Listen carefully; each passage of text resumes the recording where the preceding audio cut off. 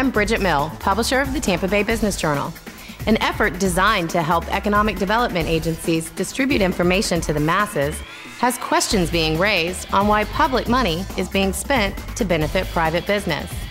Presented as a way to spread positive information about the assets of Tampa Bay, 83 Degrees is generating discourse because of its unusual approach to financing the operation. In short, it uses money from government sources and quasi public agencies, along with annualized advertising contracts with private companies.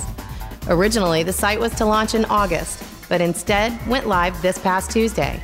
Find out why one local businessman calls it foolish and references laying off cops and firefighters while sending local public dollars out of the state. This is a hot issue.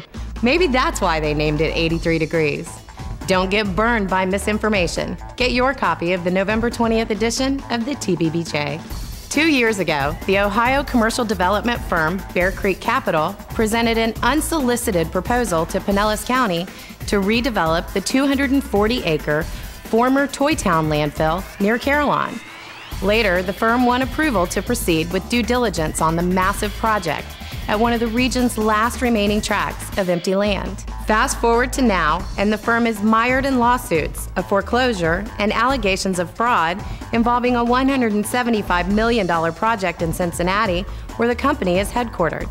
But Bear Creek principal Matt Daniels told us the company remains absolutely committed to the $870 million in St. Petersburg, and county economic development officials have confidence that a deep pocketed partner leaves taxpayers with little risk. I'm Bridget Mill, and now you're in the know with Biz TV.